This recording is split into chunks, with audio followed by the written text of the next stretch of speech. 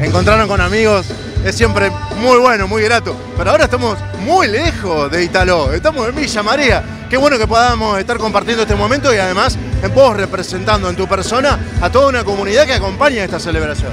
Sí, sí, la verdad que, bueno, la primera vez que vengo a disfrutar de un espectáculo de esta envergadura, la verdad que eh, nosotros anoche tuvimos los carnavales en Italó, también un éxito rotundo.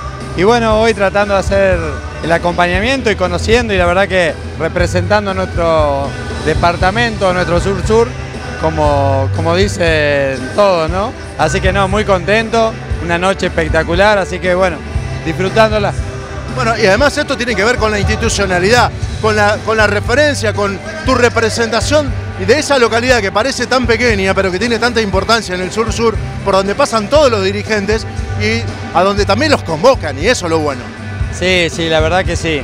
Eh, nos ponen muy contentos porque inclusive anoche en el festival, la presencia de ministros en nuestro pueblo, la verdad que orgullosos, entonces bueno, creo que también de esto se trata, de, hacer presencia en otros lugares para que nos conozcan y para que también así poder invitar a, los representantes que tenemos en nuestro gobierno para, para que visiten nuestra localidad. Así que, bueno, muy contento. Y es una forma también de encontrarse, de encontrar empatía con los dirigentes más importantes, de que esto termine representando eh, la llegada de fondos y de gestiones al, al interior profundo para que las obras sean realidad también.